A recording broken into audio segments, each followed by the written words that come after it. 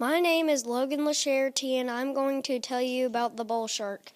It goes up to set seven to ten feet, and its weight is 200 to 500 pounds. It's a carnivore. It's a fish.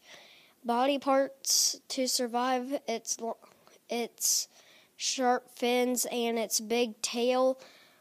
Body covering to survive. It its thick snout bodies actions to survive to headbutt their prey or predator. Their predators are great white sharks.